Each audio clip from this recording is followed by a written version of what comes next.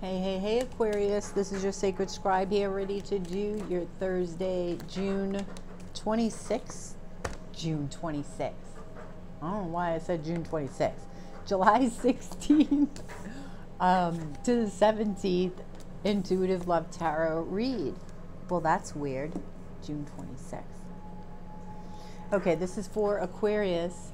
Sun, Moon, Rising, Venus, Jupiter, and North Node. This will not resonate with everybody, of course, but hopefully it will with you today. Please don't forget to like, share, and subscribe right down below there, Aquarius, if you would, before you leave. I do appreciate it. And thank you so much for all of your like, shares, and subscriptions. If you are interested in a personal reading with me, that way this is more specific to you and your needs and your questions, information can be found in the description box below.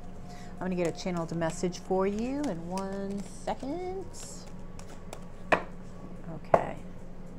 We've got the King of Pentacles at the bottom of the deck, the Seven of Cups, the Two of Swords, the Sun, the King of Swords.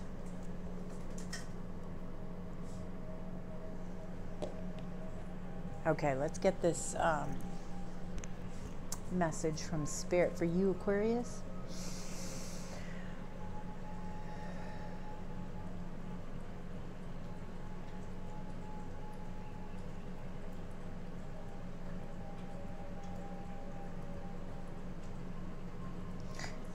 they keep saying leveraging, but that's all they're saying, leveraging. You be more specific?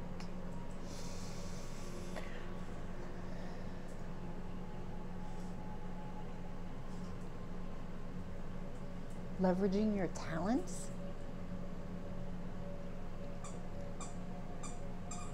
Okay, there's something that's specific to you, Aquarius, that that you do very well.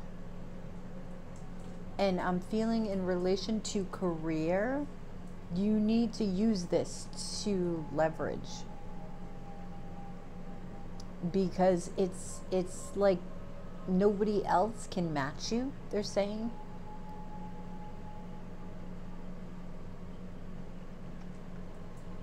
They can't mm, they can't do it the way that you can you know? It's like you know you have how many surgeons out there but they all operate differently and people prefer certain ones over others. Uh, and that that's just goes for doctors but mechanics the same way. Um, so anything. So i feel like whatever it is that you do you you've got a, a talent for it in the way that in which you do it you can you can use that for leverage in something regarding career. Whether that be a promotion something along those lines possibly Okay. Oops, so, yeah, with the King of Pentacles at the bottom of the deck, I'm really feeling that. So think about, and, and I feel like whatever it is, you take this for granted. It's something like, oh yeah, I know how to do that. Like, no big deal. You don't realize that you're good at it and you, you put a unique spin on it. Hmm. Yeah. And it, it, it's like you're blinded by this. With this Two of Swords, I feel like this is what you're blinded by. So you need to use your intuition and really think about that because this is going to lead you to happiness. The Sun is the happiest card in the deck. It's going to take you down a different road. Believe it or not. And it's something Okay, they just said childhood dream. I'm getting that with the Seven of Cups. Think about what you wished for as a child.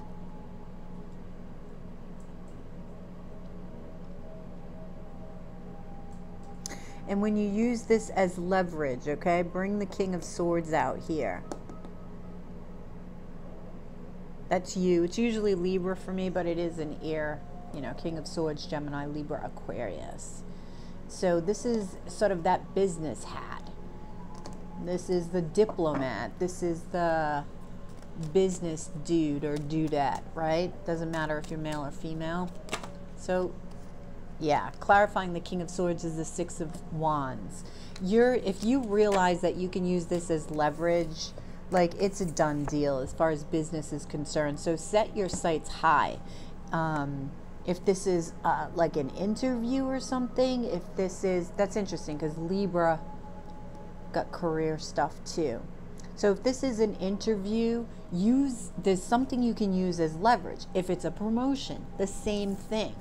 You're going to have clarity and truth as to what this childhood dream um, was. Okay. Spend a little bit of time meditating and connecting to your intuition because I feel like that's when that clarity and truth is going to come out. So the Two of Swords is clarified. Yeah, look at this the Ten of Cups and the Six of Cups. There's that childhood dream again. But this is. This is past life. This is soulmate from a past life. But I feel like this is something from, this has to do with something from childhood that you absolutely love and that has always been a dream. But I'm not too sure that you, you quite thought that it would become a reality. I think it just sort of you just let it go. Like, oh yeah, that was my dream once.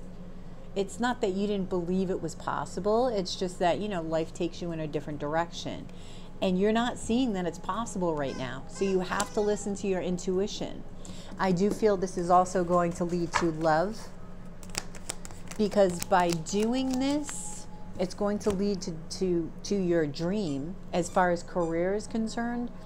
And it's it's going to allow you to open up and drop walls that you have um, set in place. And i'm hearing for you, you you know nearly your entire life you've had this wall up. Queen of pentacles this is clarifying the sun.